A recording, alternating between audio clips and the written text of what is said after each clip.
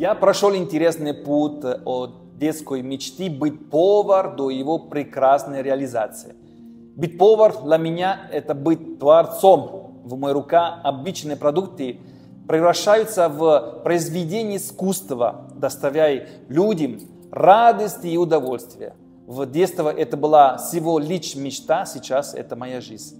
У меня всегда был интерес к феномену успешного человека, чтобы понять, как он достигает своей цели. Пройдя свой собственный путь, я понял, что нет определенный рецепт успеха, но есть аспекты и техники, которые влияют на психику человека и его мировоззрение. Один из таких аспектов является книги.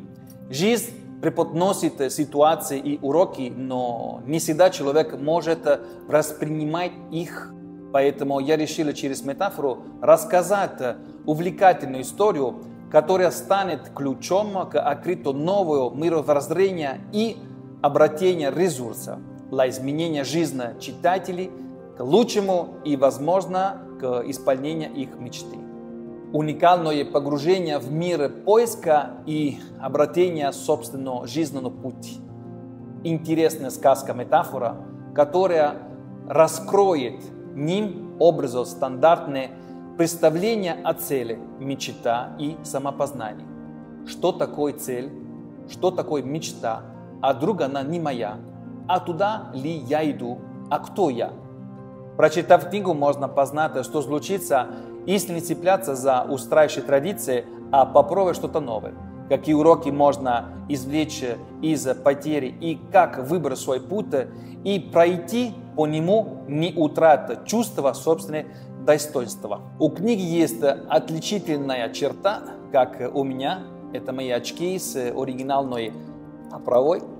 Обложка книги с шубером в форме очков, которые помогут вам разглядите именно свой уникальный путь и позволяйте взглянуть на вашу жизнь под новым углом зрения. Метафорическая сказка – приключения с элементами философии, создавая уникальные литературные произведения, способные вдохновить как взрослых, так и детей. В ней я описываю многогранные темы, которые могут стать объектом обсуждения и анализа для взрослых читателей. В книге вы увидите QR-код, по которому вы получите подарок авторскую музыку для медитации под звуки балалайки, которая поможет вам погрузиться высой мысли после прочтения книги.